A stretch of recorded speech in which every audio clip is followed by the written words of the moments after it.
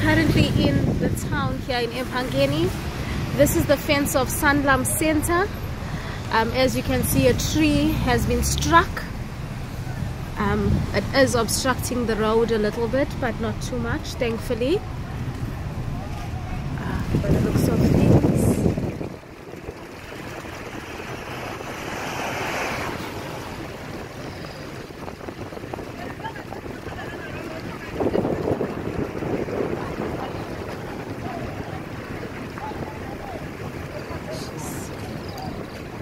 Um, as this More, as you can see, I'm just trying to stretch. There is a lot of damage to the building, and the structure. Just going forward.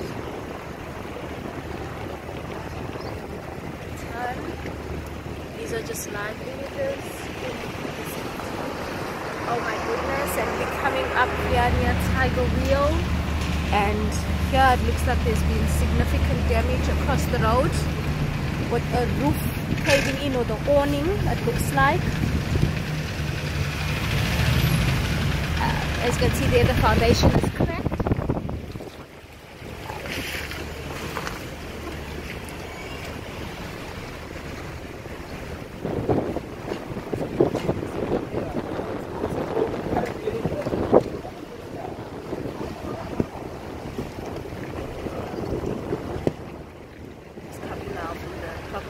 save more.